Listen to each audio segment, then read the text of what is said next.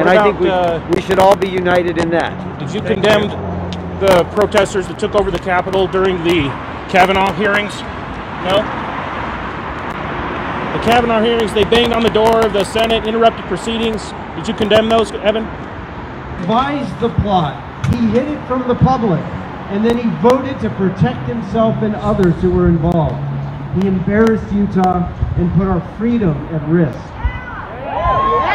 Mike Lee calls himself a constitutional conservative, but he's actually a constitutional deserter.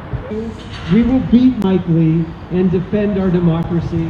And if we do it here in Utah, the rest of America will follow. It must. Know we can do it. Thank you. All right, let's give it up for Evan because that was one hell of a speech. Who's ready to defeat Mike Lee? Evan. Evan. How's it, how you doing? Good, how are you? Good. Good. I've been following you for a long time. Good. What's your name? Adam. Adam? Great. Are you are you with someone or? Just independent. Oh, you are. Yeah. Okay. Cool. I mean, are you reporting or? Yeah, I'm recording right now. Are you are you a reporter? Just a citizen journalist. Oh, okay. Yeah. Very good. Uh, we're on our way to an event. What's your name again? My name's Adam Adam what? Bartholomew. Bar- Bartholomew. Yeah. Okay. Great. Well, Hey, great I just meet wanted to know if you had condemned the you know, 10, 11 months of riots that we had previously as well. Ten or eleven months of riots. Hey, you know. Yeah, look, I, no, that's okay. Look, I, I am opposed to chaos and disorder and to violations of the rule of law, and I oppose it from the extremes on, on the right and the left. And What I think we, uh, we should all be united in that. Did you condemn the protesters that took over the Capitol during the Kavanaugh hearings? No? The Kavanaugh hearings, they banged on the door of the Senate, interrupted proceedings. Did you condemn those, Evan? Didn't think. So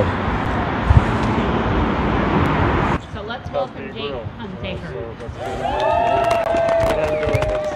Thank you all for coming tonight. Every single person has a voice in the outcomes of our country, and that is at the ballot box, and every vote matters. The very last thing I want to mention today, and something that I think sets us apart here tonight, and that is the third pillar of my candidacy.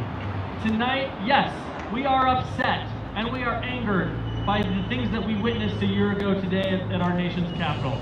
Gatherings like this fill me with a sense of optimism that none of that outrage could ever trump. No pun intended. We just heard from Evan McMullin. He comes from the CIA. He's got a heck of a background. Everyone okay? Would you mind saying and spelling your name and then uh, maybe tell us uh, your title? And obviously you're running against Burgess, uh, Congressman Owens. So uh, but yeah, I guess name and, and uh, spell it for us first. Yeah. My name is Jake Hunsaker. That's J A K E H U N S A K E R. And uh, uh, officially you're running against uh, Congressman Owens. Yep. Uh, I'm running against uh, Burgess Owens in the GOP primary this coming June. I filed last August uh, for uh, the race, and we've been uh, meeting with voters and constituents throughout District 4 ever since then. It's time for a better brand of politics. It's time to expect more of our leaders, and it's time to get away from this extremism and this inclination to embrace conspiracy theories and get back to real business that matters to I heard you up there saying that January 6th and watching the riot unfold inspired you to run. Is that true? I mean, connect the, the one year to the one year, and then obviously you spoke up there, so I'm imagining you want to touch on what happened a year ago today. But did that influence your decision to run and, and you know uh, go up against the you know, like I said, one of the things that uh, January 6th did for me was really show me how far we have drifted from a hopeful, productive reality in Washington. And we put up with that from our politicians because it's all that we have. It's the only options that we have. And so, as a concerned citizen, I thought on January 6th, if this is the kind of leadership that we have right now that doesn't acknowledge the truth, how our sacred democratic processes were desecrated by a handful of extremists, Anybody else? I mean, I, appreciate your time. Um, thank you for treetop. All right. Is that boring? Jake, did you, No. did you speak out against the uh, protesters that occupied the Capitol and banged on the doors and interrupted Senate proceedings during the, the Kavanaugh confirmation hearings? Uh, so, can, give me more context. Which ones are you talking Uh, about? during the just, Justice Kavanaugh's confirmation hearings, a large group of protesters occupied the Capitol, banged on the doors of the Senate, and interrupted proceedings. I was wondering if you spoke out against that as well.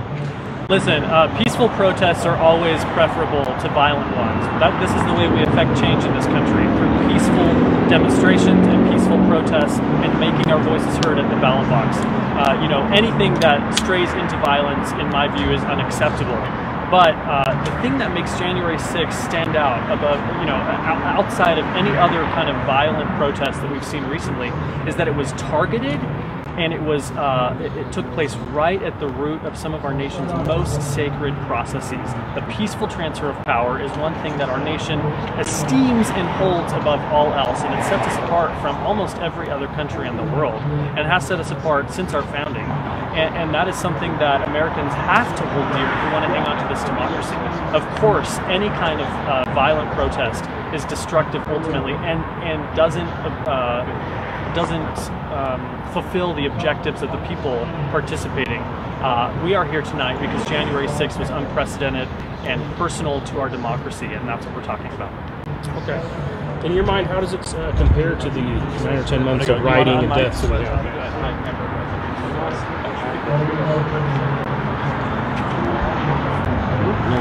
You got the right button. The, the crew was here already deployed. You